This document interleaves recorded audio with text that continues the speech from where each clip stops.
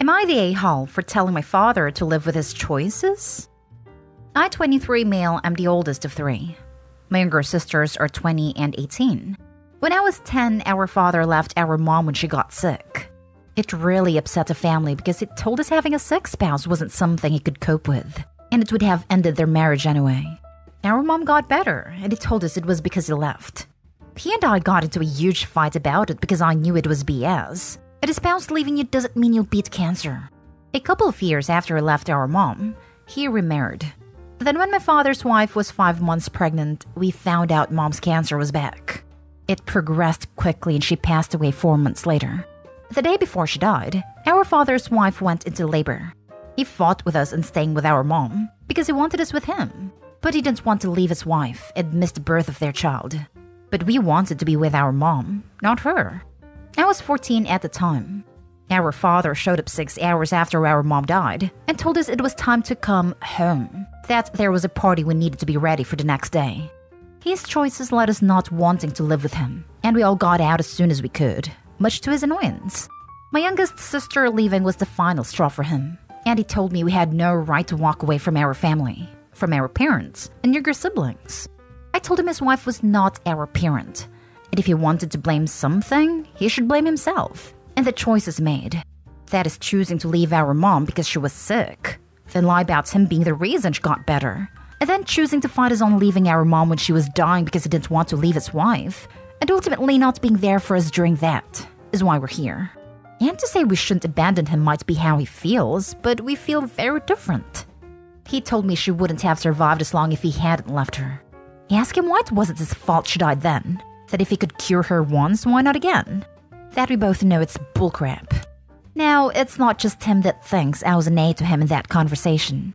So do some of my aunts and uncles on that side. They always figured we were too hard on him for his choices, and that we should have embraced the new instead of being angry over the old. Am I the a hole? Now for the top comments. You are absolutely not the a hole.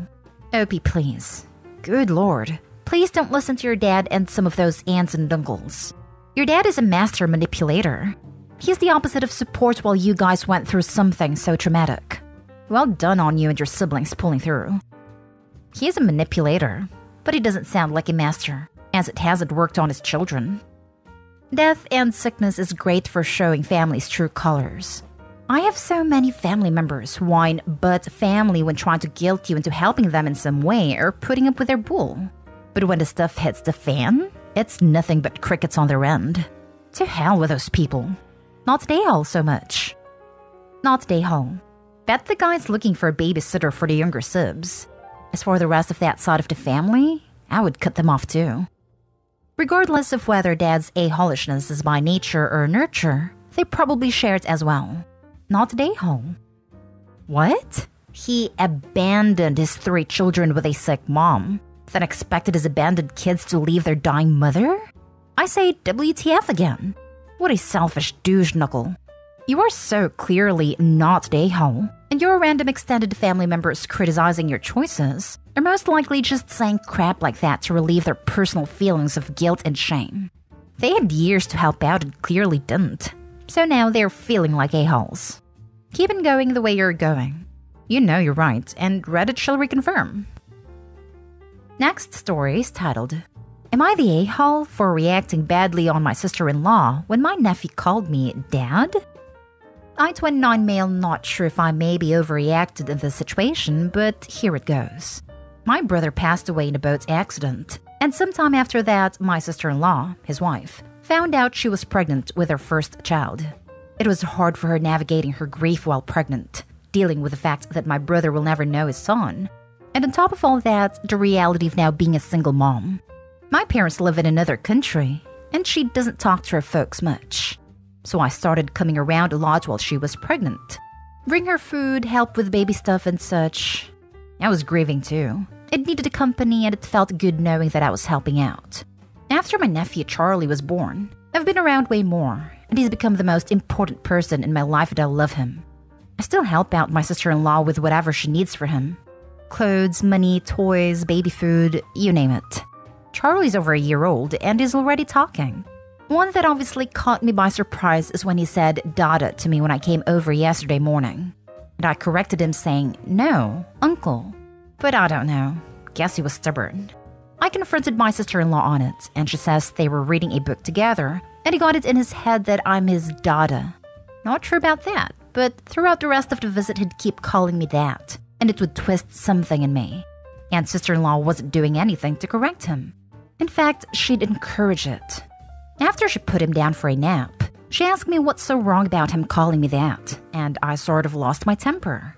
Didn't yell or anything, but what I said was, because I'm not his dad. And I'm not gonna disrespect my brother like that. So why would you? My sister in law looked like she wanted to cry, and I decided to end the visit there. In my drive back, I got a text from her. She told me sorry for thinking I'd feel happy to call me that, and she'll make sure he won't do it again.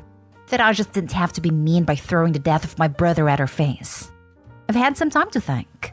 It was an emotional moment for me, so I'm not sure if maybe that way I reacted made me an a hole especially because I made her cry. Am I the a hole? No a holes here. It's a tough situation, and you are both getting through it best you can. Props to you for stepping up. No a holes here. But Opie, you need to sit down and think about the long run here. What role do you want in your nephew's life moving forward? Are you dating anyone?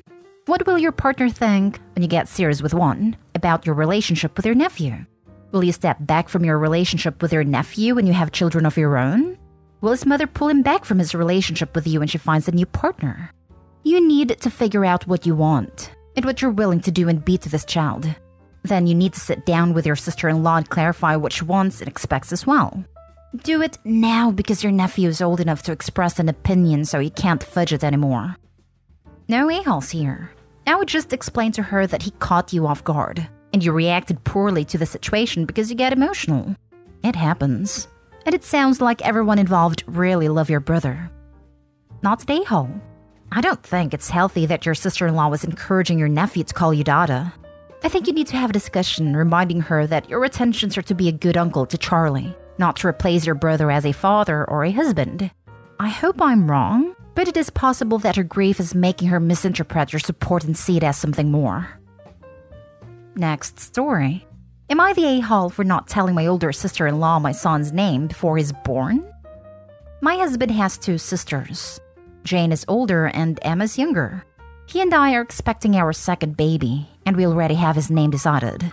Jane knows this because she saw my husband pick up the costume name sticker we got for the nursery, and now she's dying to know the name. She asked my husband, and he told her we'd reveal all when baby's here. Then she came to me and asked me, but I said no to giving her the name. The reason? When Emma had her son, she used the name Emma had mentioned when she was six months pregnant.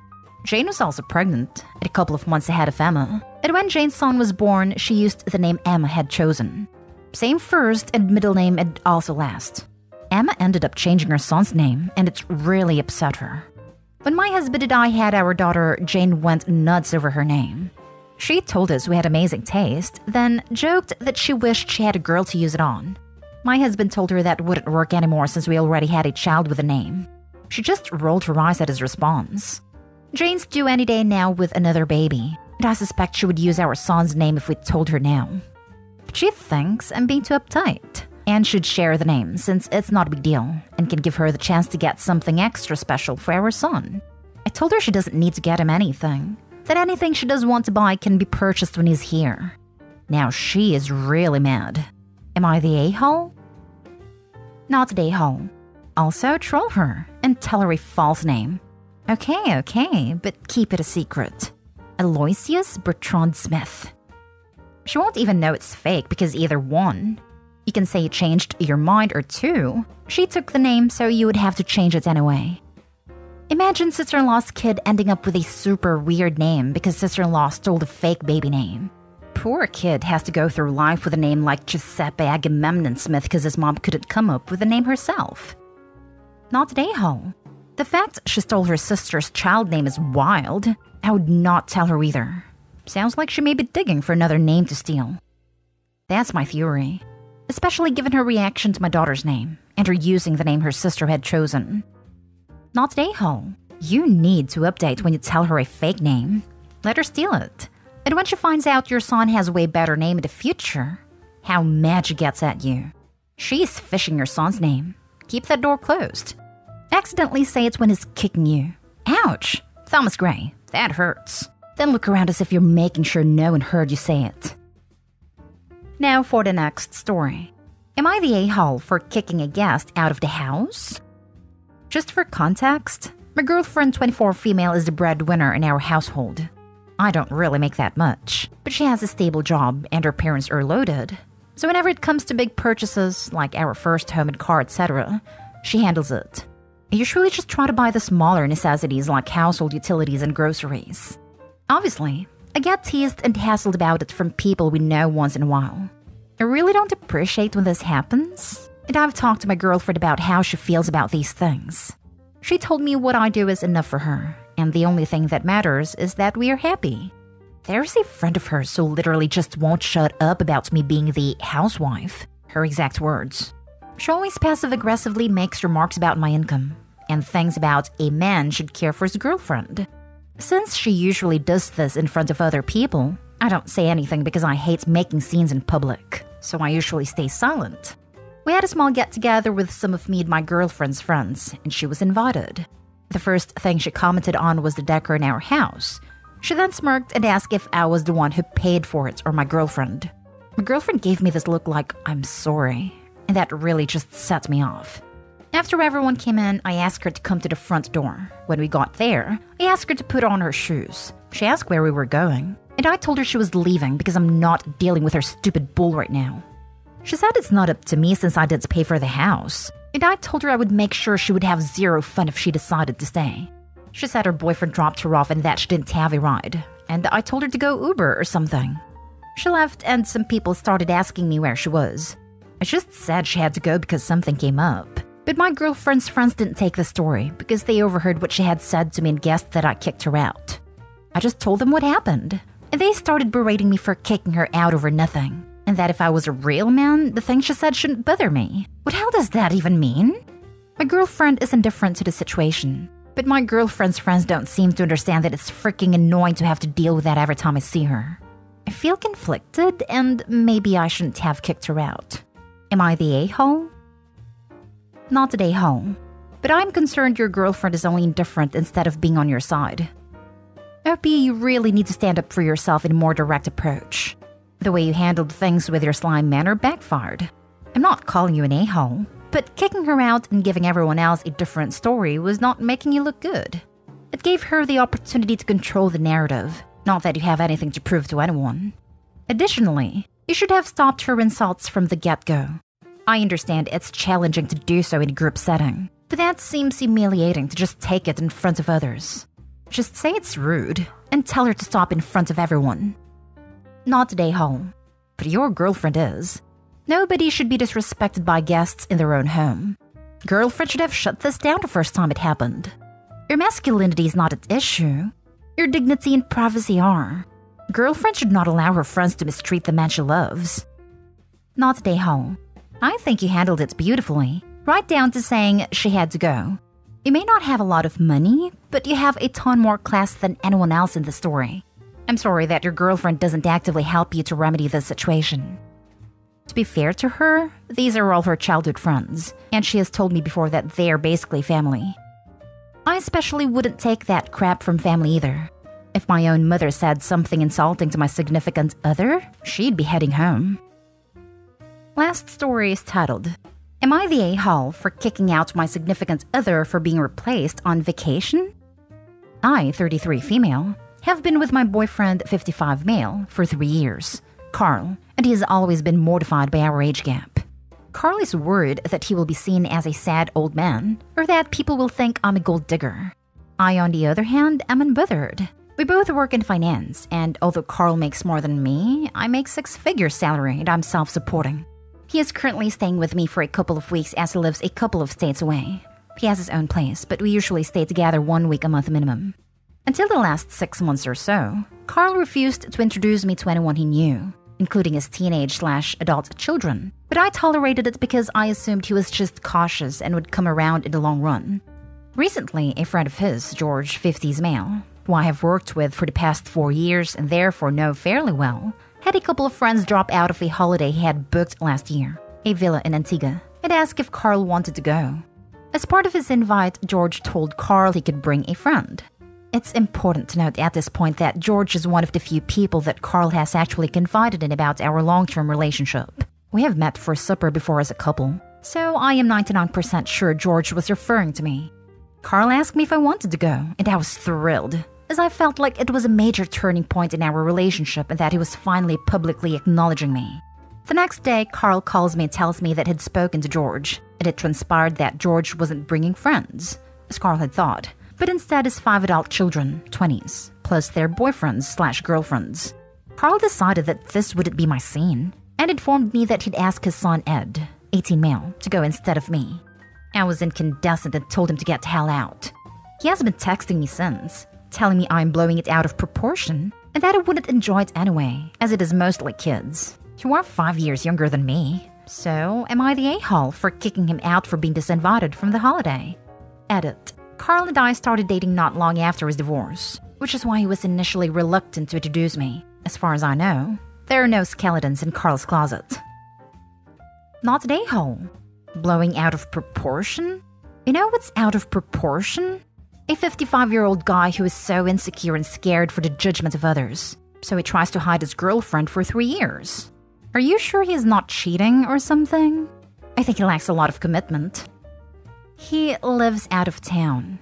They see each other one week each month. They've been dating for three years, and he refuses to acknowledge her to his family and friends. Sounds like dude already has a family, and Opie isn't it? Jesus, Opie, why would you put up with this? Seriously, he's so ashamed if you keeps you secret, and you happily go along with it. For three years? Damn, where's your self esteem? Your pride? I'm thinking that divorce never actually happened, and Opie is an unknowing side piece. Why are you dating someone who's ashamed of you? You're the a hole for wasting your time with someone that is embarrassed to be dating you. Three years you've been his dirty little secret. Get some self respect.